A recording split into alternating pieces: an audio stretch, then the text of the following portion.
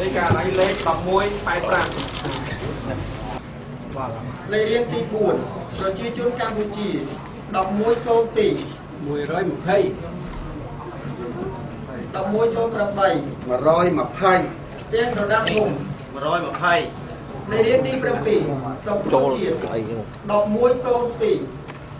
210 1108 210ទៀងរដាប់ភូមិ210សូមសម្ដែងសម្ដែងដល់តំណាងផងសាស្ត្រជំនុំការអធិស្ឋានដើម្បីបុកសរុបអំពីសិលឹកក្នុងបានការសិលឹកក្នុងបានការហើយនឹងសរុបអស់នៅក្នុងតារាង1102កាលណាតអត់បុកសរុបចឹងទេយើងអាចទៀងទាត់ថាសិលឹកក្នុងបានការប្រមាណនោះទេព្រោះនៅក្នុងរបាយការណ៍1102មាននៅក្នុងតួលេខស្រេចប៉ុន្តែហៅតួលេខនោះបាទហើយដល់ថាមិនយល់ពីបំណងរបស់ខ្ញុំ ពីព្រោះមូលហេតុអីបានដែលខ្ញុំស្នើសុំនេះព្រោះ1104ដែលខ្ញុំបានទទួលនេះគឺជាតួលេខដែលស្រង់ចេញមកពី1102អញ្ចឹងកាលណាហៅតំណាងលក្ខណៈបានការរបស់គណៈបកនយោបាយវាត្រូវតែមានលេខសរុបលក្ខណៈបានការប្រមាណលក្ខណៈបានការប្រមាណអ្នកដែលបានលក្ខណៈនៅក្នុងហັບប្រមាណមានដូចគ្នាទាំងអស់បាទកាលណាហៅនេះយើងអាចអាចធ្វើការប្រៀបធៀបគ្នាបានដែរព្រោះបទពិសោធន៍លើកមុនតើខ្ញុំធ្វើអត្ថាធិប្បាយបញ្យល់ ប៉ុន្តែលើកនេះខ្ញុំស្នើសុំថាឲ្យហៅនេះមកយើងសរុបមានដូចគ្នា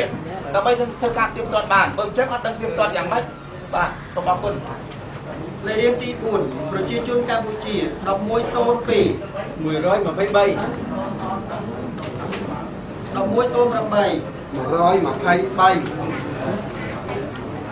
ទៀងរដាប់ភូមិ123លេខរៀងទី7សំព្រោះជាតិ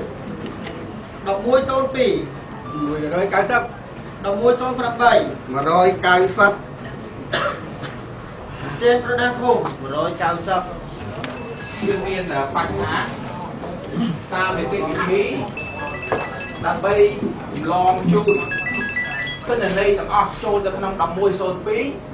គឺគេយកពី1108ហើយនឹងអត្រាគូបាលហ្នឹងហើយទៅជាមូលដ្ឋានដើម្បីផុតត្រាអំពីទិន្នន័យលក្ខណៈតាមការរបស់គណៈបកមួយ ឥឡូវយើងឃើញតារាង1108ជាមួយនឹងតារាងនឹងវាមានការខុសគ្នាទី1ទី2អ្វីដែលគ្រូខ្ញុំបានទទួលចម្លងចេញពី1102មក1104ចំណុចនេះគឺថាអត់មានតួលេខសរុបទាំងអស់លក្ខណៈបានការប្រមាណប្រមាណចឹងហើយបានខ្ញុំសំណុំពោដល់ឯកឧត្តមក្រុមប្រសាធម្មនុញ្ញហើយជាពិសេសឯកឧត្តមអ៊ុតឈុនដែលជាធ្លាប់ធ្វើជាអគ្គសមនគរដើម្បីធ្វើការផ្ទៀងផ្ទាត់តួលេខ វាត្រូវតែវាមានស្អីធ្វើការមកផ្ទៀងផ្ទាត់ព្រោះយើងអត់បង្ហាញអំពីសិលឹកថនបានការមិនបានការដែលផ្សេងនៅក្នុងទម្រង់នេះអានឹងគឺថាមិនដឹងទីចិត្តជាមួយអីដល់អញ្ចឹងសំណុំពោរបស់ខ្ញុំទៅទូចហ្នឹងស្នើសុំឲ្យបង្ហាញតួលេខកខបាទព្រោះវាមាននៅក្នុងនោះស្រេចបាទតែអត់តួលេខសរុបអញ្ចឹងគឺពិបាកឲ្យពួកខ្ញុំស្គួយបោកឡើងវិញអីទាំងអស់ឡើងវិញអញ្ចឹងគឺថាសូមអធិស្ឋានគឺថារបៀបនៃការធ្វើអឺអឺសកម្មកម្ម គឺតើត្រូវត្រូវតែយកតួលេខចុងដើមមកទូទាត់គ្នាទើបអាចចេញជាលទ្ធផលជាក់ស្ដែងបានសូមអរគុណអធិស្ឋានអនុវត្តតាមផ្លូវច្បាប់គឺយ៉ាងណាធ្វើឲ្យតាមផ្លូវច្បាប់ក្រុមប្រឹក្សាធម្មពលគឺជាអ្នកច្បាប់ទទួលហើយក៏ជាបញ្ចប់នៃការតវ៉ាសូមមេត្តាអនុវត្តឲ្យបានជ្រុងជ្រោយងាប់ទាំងអស់គ្នាអនុញ្ញាតឲ្យយើងចង់ធ្វើការផ្ទៀងផ្ទាត់នៅក្នុងបញ្ហានេះទេតើយើងនាំគ្នាមកឲ្យបញ្ចប់តសម្បត្តិឯ កសូមអ្នកកាសែតជាតិអន្តរជាតិមេត្តានាំគ្នាគឺការពិចារណាចឹងខ្ញុំសូមសនុពរឲ្យទទួលសូមឲ្យធ្វើការផ្ទៀងផ្ទាត់ហៅសម្លេងសន្លឹកណោតតែបានការនិងមិនបានការនឹងបានស្រួលឲ្យបានពិតប្រាកដហើយបើយើងធ្វើយ៉ាងដូចនេះយើងគ្រាន់តែនាំគ្នាមកហែហែថាបានគឺមែនគឺខ្ញុំសូមសំណពរឲ្យទទួលសូមរងរាជជាទូសូមរងមេត្តា ធ្វើបាត់អន្តរាគមយ៉ាងណាអនុវត្តទៅតាមនីតិវិធីនៃរដ្ឋបាលពីព្រោះក្រុមប្រឹក្សាធម្មពលគឺជាបញ្ចប់នៃបណ្ដឹងរបស់គណៈបកគ្រប់គណៈបកចុងក្រោយសូមអរគុណលេខរៀងទី4ប្រជាជនកម្ពុជា1102 154 1108 154ទៀងរដាប់ភូមិបាទសូមបង្ហាញបញ្ជាក់អំពីការបុកនេះគឺ154ប៉ុន្តែគាត់ផ្សេង155 ឥឡូវយើងសេយកលេខបាទ154ប៉ុន្តែក្នុងនេះ155លេខរៀងទី7សំគ្រួជាតិ1102 216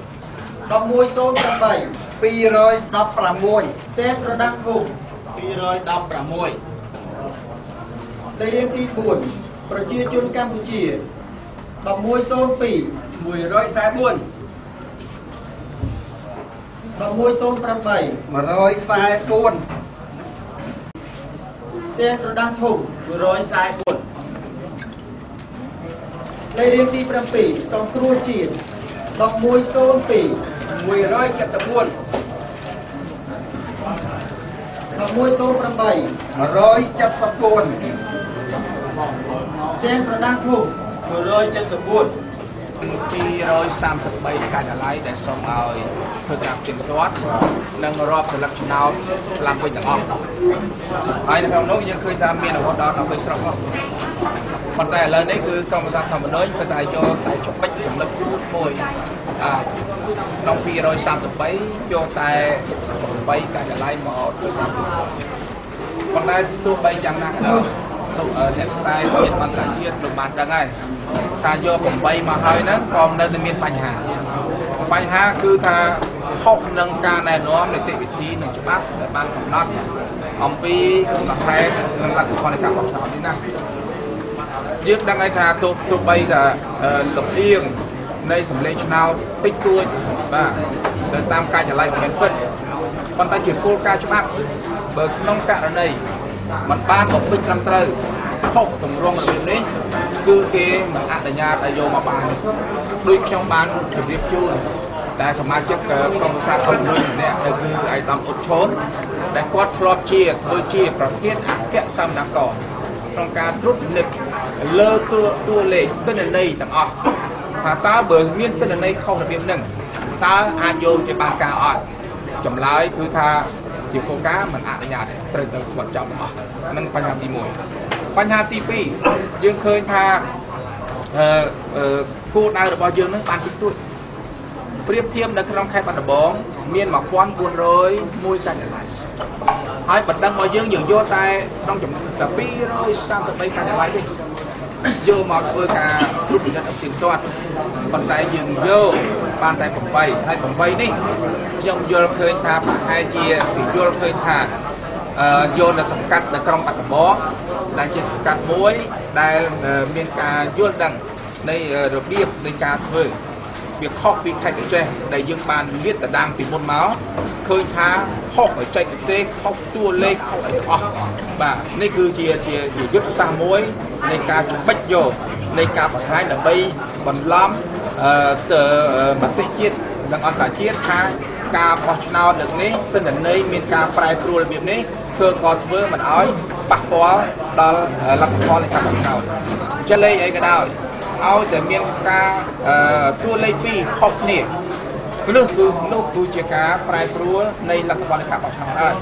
គ្រាន់តែវាប៉ះពាល់ដល់អត្ថនៈឬមួយយ៉ាងម៉េចប៉ុន្តែបើប៉ះពាល់គឺប៉ះពាល់ដាច់ខាតនឹងទី1ទី2គឺយើងយល់ឃើញថា มันអាចយកករណីប៉ុណ្ណឹងមកអឺសន្និដ្ឋានថាការរៀបចំការបោះឆ្នោតនេះដោយសេរីត្រឹមតែយុត្តិធម៌ទេអញ្ចឹងហើយបានជាគណៈបក្សសង្គ្រោះជាតិនៅតែទទូចស្នើសុំឲ្យមានគណៈកម្មការឯករាជ្យមួយយ៉ាងពិតប្រាកដ